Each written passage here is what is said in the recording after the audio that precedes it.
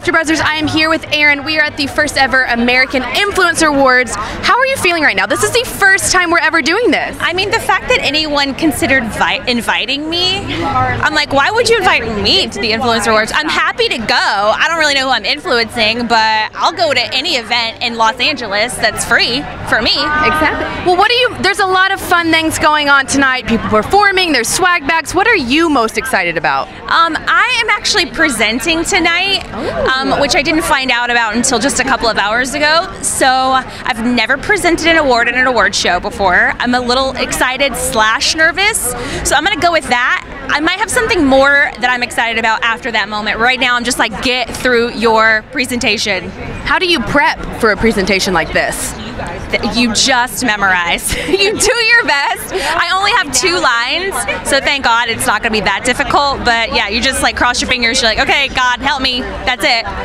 Well, this is an event all about beauty and trends and influencers. What's one beauty trend that is your favorite right now? Okay, so I have to tell you, I just got my face shaved for the very first time. Wait, you're gonna have to explain this. No, it's apparently Hollywood's best kept secret. Apparently, like Marilyn Monroe and Elizabeth Taylor have all done this. You get your, it's called dermaplaning. My face Okay. is peeling a little bit because it also is an, ex, is an exfoliator, but your makeup goes on very smooth. I had so much hair on my face. I had a beard, you guys. It's very embarrassing, but I feel so much better now. Amazing. I'll have to try that. I tried the vampire facial. wow, how was that? It was it was scary, but I definitely recommend trying it for sure. Interesting. It was fun. I'll take that tip. You And then I'll take your mine, tip.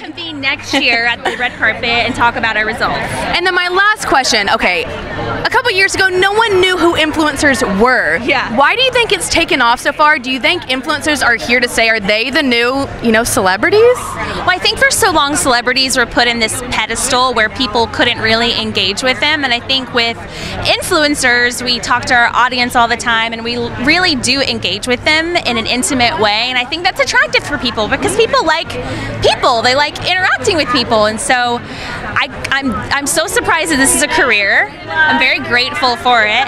Um, but I think you're going to see it become, we're going to become like the new celebrities. Not me personally, but influencers. You heard it here. They're the new Kim K. Yeah. Austin, well, thank you so much for talking with us so and enjoy and good luck presenting. Thank you. Thank you so much. You got it. All right.